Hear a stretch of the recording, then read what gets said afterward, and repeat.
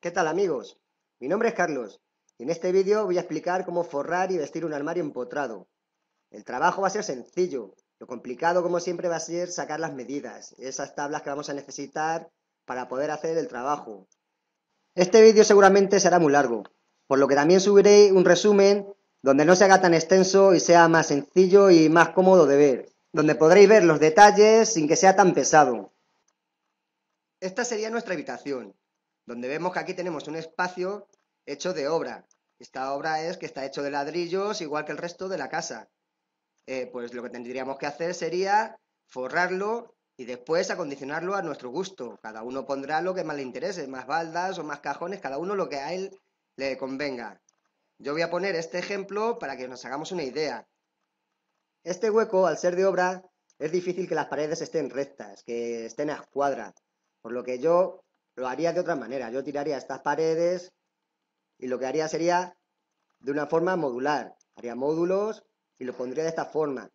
Lo que pasa es que hay que adaptarse a lo que el cliente quiera. Así que os voy a explicar cómo se hace de esta manera. Pues para empezar, lo que tenemos que hacer es tomar las medidas. Vamos a medir, por ejemplo, el frente vamos a tomar todas las medidas que podamos, las más posibles. ¿Por qué? Pues porque al estar hecho de obra puede ocurrir que las paredes estén desniveladas, de tal forma que tengamos una medida arriba, otra abajo, otra en el centro, o incluso que estén desniveladas de otra manera. También puede ocurrir este otro caso, que tengamos un desnivel y, y tengamos la misma medida arriba y abajo, pero como vemos hay un desnivel apreciable, y esto nos puede llevar a errores. Pues si cortamos la tabla a la medida que hemos tomado, vamos a hacer una tabla recta y vamos a perder espacio. Vamos a dejar parte del armario sin cubrir. Vamos a hacer una línea vertical, es la mejor forma de, medir un armario. Hacemos una línea vertical y vamos a medir una parte y luego la otra a partir de la línea esa vertical. Luego vamos a coger las medidas más largas de cada lado y esa va a ser la medida total del fondo. Como vamos a hacer una división en el centro del armario, podemos hacer esta línea vertical donde pongamos la división. Y así ya mediremos las dos partes que nos hacen falta. Y vamos a seguir midiendo pues el resto del armario. Mediremos ahora un lateral, medimos la mayor parte que podamos, altura, la parte de arriba, la de abajo, mediremos también el otro lateral, aquí tenemos la viga, pues también la medimos, todas las medidas posibles que podamos tomar, y la parte posterior, pues ya vemos aquí también que hay que tomar la mayor parte de las medidas que podamos. Deciros que los descuadres los he un poquito para que lo viéramos bien. Luego también podemos ver que como vamos a usar tablero de 10, pues aquí vamos a tener un centímetro que vamos a poder jugar con él. O sea, un descuadre de un centímetro no nos va a hacer ningún daño. Otra posibilidad es, a la hora de poner los tableros en la pared, pues poderlo calzar por la parte de atrás, si nos pide por arriba, si nos pide por abajo, y poder llevar la tabla hasta donde nos haga falta, para evitar que haya huecos en vano.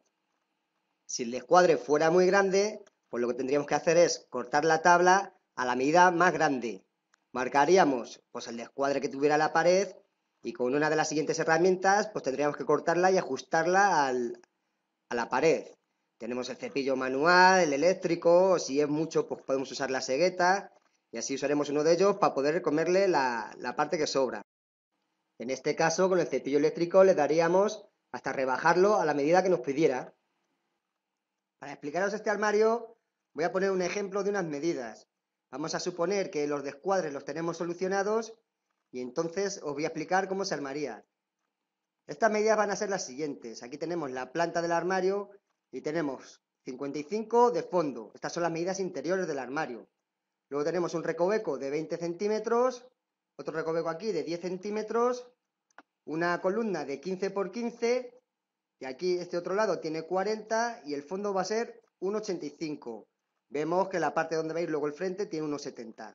En el alzado vemos que tiene pues lo que es un rodapié de 9 centímetros, también tiene un techo de 9 centímetros y lo que es también el hueco de donde va a ir el frente, pues tiene 2,32 de altura. Pero ahora en perspectiva lo vamos a ver mejor. La altura del fondo va a ser 2,50. Y lo que es el frente va a ser 1,85. Luego medimos el otro lateral, va a tener 55 de fondo y también 2,50 de altura. Pues vamos a ir al otro lateral.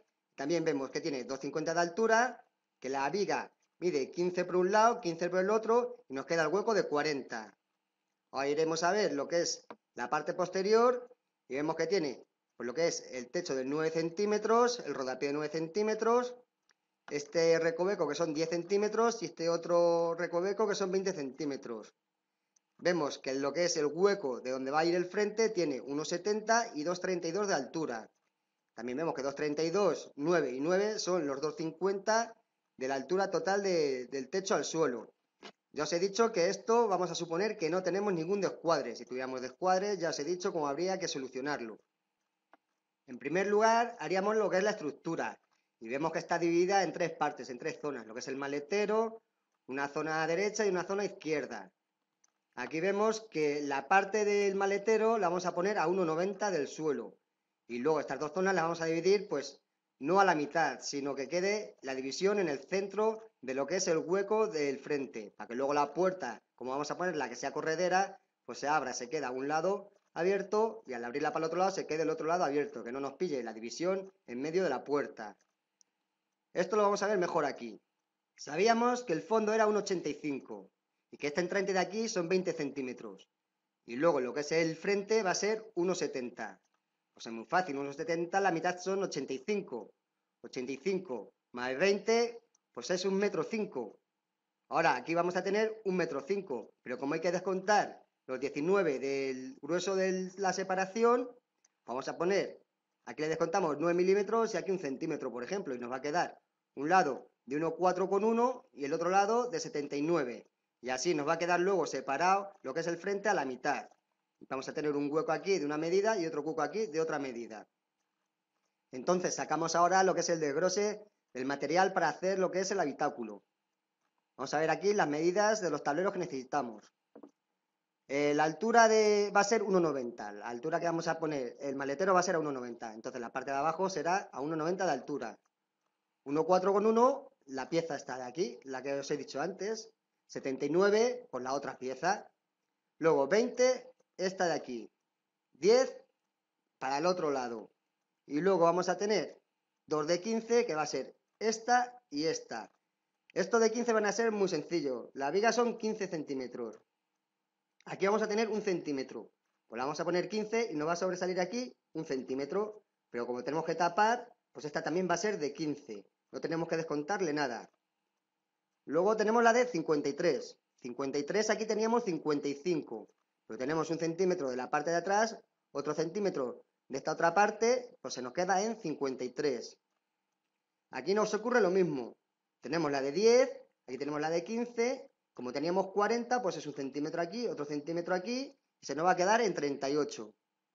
Eh, estos asteriscos van a ser, pues luego a la hora de cortar las, las partes horizontales, pues que tenemos que hacerle este corte. Eso ya lo veremos luego más adelante. Eh, ya hemos visto la parte de abajo. La parte alta del maletero, pues no lleva división. Hemos visto que iba solamente en una pieza.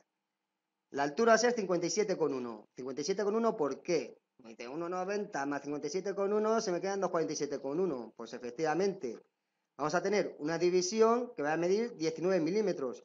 Y luego vamos a tener el techo que va a medir un centímetro lo que suma 2,9. Pues es la medida que nos queda. Un 85, ¿por qué? Pues porque la vamos a poner en una sola pieza. Aquí, al no tener división, pues lo ponemos en una sola pieza. Eh, seguramente los tableros en una sola pieza, pues tendríamos que poner la beta atravesada, porque no da ese ancho. Pues lo podríamos poner igualmente en dos cachos, a la mitad, o donde nos viniera bien, que nos diera la medida del tablero. Luego lo mismo que anteriormente, 15 para la viga, 38 para este lado, 20 para este otro, 10 para este de aquí y 53 para este de aquí, siempre contando con los gruesos de los tableros. Los tableros va uno sobre otro y siempre se come lo que es el grueso. La de 9 por 1,70 son dos, pues claro que sí, es para el rodapié de abajo y para la zona alta de aquí, pero por la parte interior. Estas medidas de aquí de 1,3,2 y, 79, y 77,9 las vamos a ver mejor en la zona anterior. Estas van a ser los suelos de, lo que es el armario. Y sería lo mismo, son 53 porque hay que descontarle los gruesos, los gruesos de estas medidas. Ya hemos dicho que teníamos aquí una pieza de un centímetro, el fondo que es otro centímetro, pues a 55 menos 2 centímetros se nos queda en 53, que son estas dos piezas.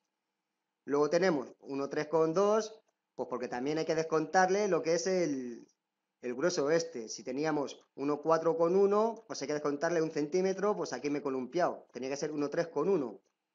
Pues igual. Y 77,9, pues también me he equivocado. Tenía que ser 78. Le, he puesto un, milímetro a cada lado. Esto lo he transversado. Pero vamos, en definitiva es lo mismo. Y luego lo del asterisco ya lo he dicho, que es hacerle la viga esta. Ahora vamos a lo de 19. 19 va a ser 1,90 por 54, o va a ser 1,90 que es la altura a la que vamos a poner el maletero, y 54 porque solamente hay que descontarle un grueso, un grueso, este grueso de aquí, ya que la tabla esta la vamos a meter hasta el final. ¿Para qué vamos a meterla hasta el final? Para que no se nos vaya para un lado y para otro. Vamos a aprovechar la trasera para dejar esta tabla fija. Eh, ¿2 metros por 55? Pues porque la medida que tenemos de aquí hasta aquí. Son 2 metros. Era un 85 más 15, pues son 2 metros. 55 porque también es el fondo. Le vamos a hacer la medida total porque queremos que se apoye en las tablas estas que hemos puesto para forrarlo y así evitar poner tornillos y cosas raras. Estaréis diciendo que menuda chapa que os estoy metiendo, pero vamos, esto lo vais a ver mucho mejor ahora cuando nos liemos a montarlo. Vais a ver por qué hemos cogido cada medida y cómo van las tablas sobre otras. Ahora nos ponemos a montarlo y lo vais a ver perfectamente. Como ya hemos tomado todas las medidas del armario, pues ahora ya nos vamos a nuestra tienda de bricolaje y compramos el material necesario. Todos los tableros, estos especificados, que nos lo corten a la medida. Y luego también pediremos unas cajoneras, una barra y unos soportes para colgar luego la ropa, la moldura para rematar y un frente que va a ser de dos puertas correderas. En este caso he puesto cristales, pero vamos, la que nosotros queramos. Que deciros que también nos hará falta pues algunas cosillas más, como clavos, tornillos, silicona, pero vamos, esas cosas se sobreentiende que las tenemos que tener. Y sin más historias, nos vamos a liar ya a montar, que es lo más fácil. Aquí tenemos el armario. Este armario, pues le voy a quitar esta parte de aquí, se la voy a omitir para que veáis cómo lo ponemos. Y vamos a empezar pues poniendo la trasera. Estas traseras hay que pegarlas a la pared. Pues lo vamos a hacer de la siguiente forma. Vamos a poner unos pegotes de silicona o unos hilos de silicona a todas las tablas de 10 que van a ir pegadas a la pared, techo o suelo, silicona o cualquier otro tipo de adhesivo. Y ahora pegaremos la primera tabla a la pared. Seguidamente vamos a poner lo que es la tabla división y luego pondremos también la otra trasera, igual, pegado todo con silicona o adhesivo que queramos. Aquí vemos que lo hacemos así porque la tabla divisora la vamos a poner entre medias de las dos traseras esto nos va a hacer que esta tabla quede bien fija. También comentaros aquí que lo importante si el armario está descuadrado, esta parte dejarla recta, que los descuadres siempre queden al lado de la pared, que es donde luego podemos taparlo o si tendríamos que cepillarlo, lo que fuera, al lado de la pared siempre. Ahora pondremos la orejera por la parte interior y después el costado. Luego lo haremos en el otro lado igual. Haremos la columna también la orejera por la parte interior y nuestro costado. Luego pondremos también la parte de dentro del zócalo y ya pondremos los fondos del suelo, que va a ser lo que nos va a hacer que todo quede bien ajustado y va a impedir que las cosas se nos caigan. Va a quedar la parte del medio, va a quedar bien fija con la parte esta. Vamos a ver ahora desde una vista superior cómo quedan las tablas unas sobre otras. Vemos que el costado central nos queda embutido entre las dos traseras y también queda embutido entre la parte baja del suelo. Lo vemos aquí, que la trasera queda sobre el costado y este lateral también queda sobre el costado. Por eso, si hubiera algún descuadre aquí, tenemos un centímetro de margen que lo taparía. Y pasaría lo mismo en estos otros lados. Quedaría una tabla sobre otra, que es por lo que tenemos que descontar el grueso siempre, y taparían todos los fallos. Ahora ya pondríamos la tabla de división del maletero. Esta la meteríamos dentro y la dejaríamos descansar sobre las tablas que ya tenemos puestas. Y para que quede todo mejor compactado, vamos a actuar de la siguiente forma. Poniendo la división recta, bien a escuadra, la atornillaremos al maletero. Luego también clavaremos pues lo que es a, a los fondos. Pondremos unos clavos que estos van a ser muy buenos para evitar que se caigan las tablas para adelante y que quede todo bien compactado. Así nos va a quedar todo hecho un bloque. Y estos clavos, lógicamente, ahora no se van a ver cuando pongamos las otras tablas. Ahora la parte alta la vamos a hacer de la misma forma. Vamos a empezar poniendo el techo. El techo a lo mejor ahora pues sería complicado ponerlo porque si tenemos el hueco sería complicado meterlo ahí en diagonal. Puede que entrara, puede que no. A lo mejor lo mejor es ponerlo lo primero, antes de todo poner el techo este. Pondríamos aquí unos clavitos para dejarlo descansar y luego retiraríamos los clavos y ahora ya actuaríamos como siempre.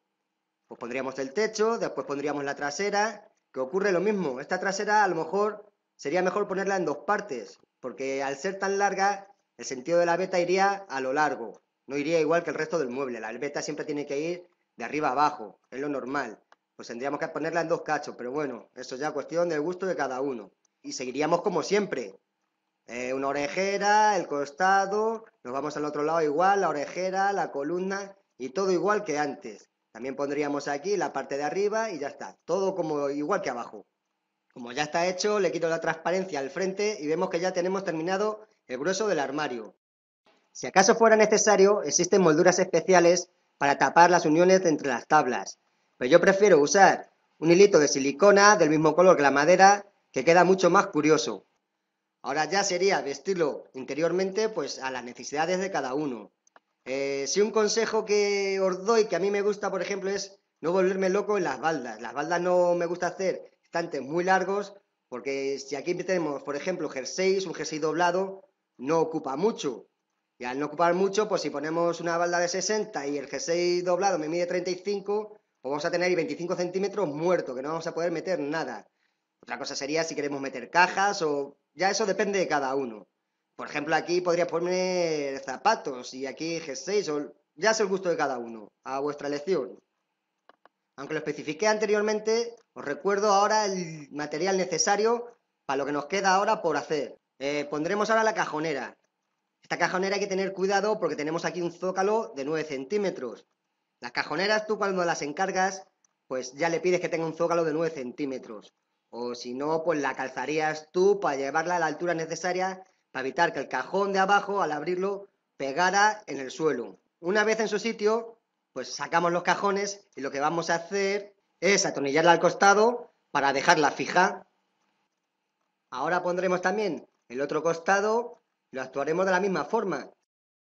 Lo vamos a atornillar al costado de la cajonera, cuanto más tornillos mejor para que quede bien fijo, y también lo atornillaremos a la parte alta, quedando así todo hecho un bloque.